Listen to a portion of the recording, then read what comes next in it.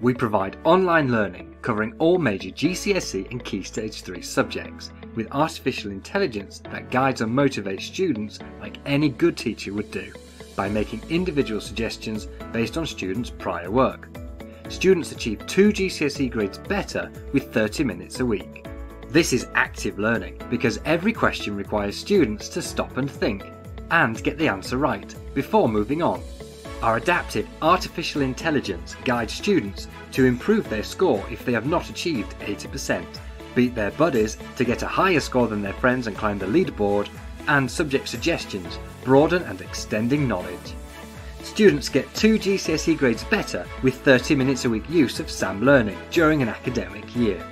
This was proven in an EEF commissioned report that analysed 300,000 students in 250 schools over nine years Disadvantaged students do even better.